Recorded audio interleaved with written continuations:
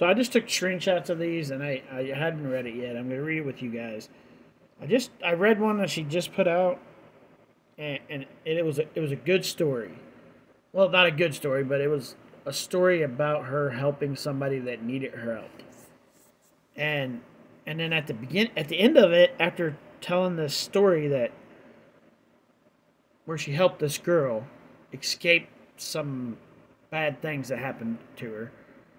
At the end of this story, she puts a joke there, and it, it just it that I don't know, it just bothered me. So hopefully she doesn't do something like that with this one. Like I get it that Jared, her brother, did something to her cousin because Jared admitted to it. I don't care what anybody says. That's what Jared admitted to. I get it that maybe Jared did something to this to his sister too. There's no proof of that, so we can't go with a yes or no there, but it's a possibility. I get that. But don't tell a story about defending somebody and then for some reason at the end of the story put a joke that it it just I don't know, it, it bothered me. But anyways, let's read what she says here because like I said, I haven't read it. I just took screenshots and went on to other stuff.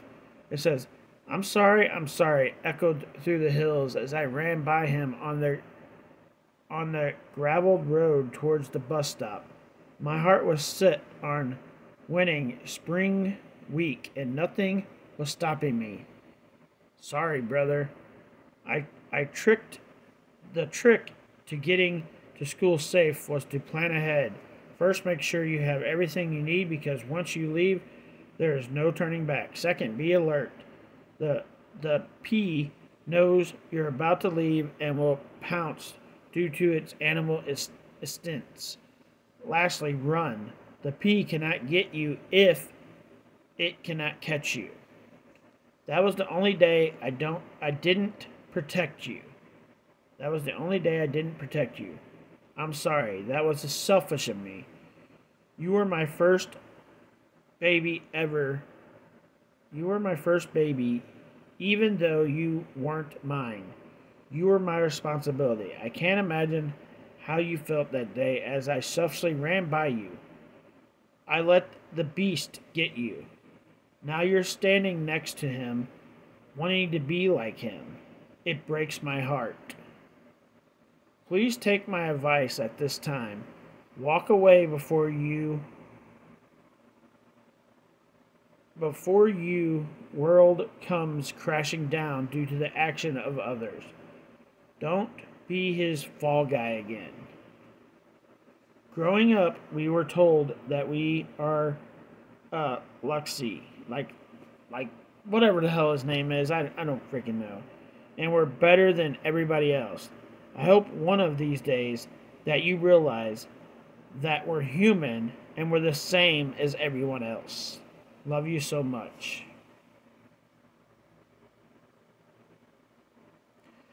I'm, I'm assuming, and this is just me, I don't know where she's going with this, but I'm assuming that she ran to the bus that morning to get away from her brother and in the process of getting away from her brother,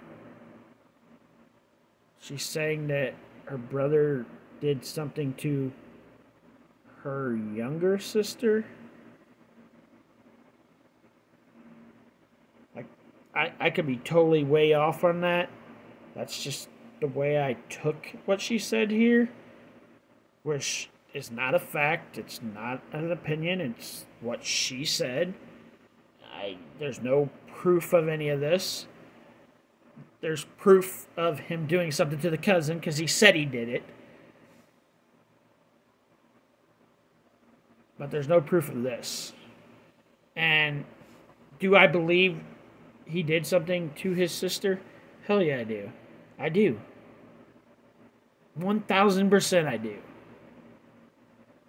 But there's no proof to prove it.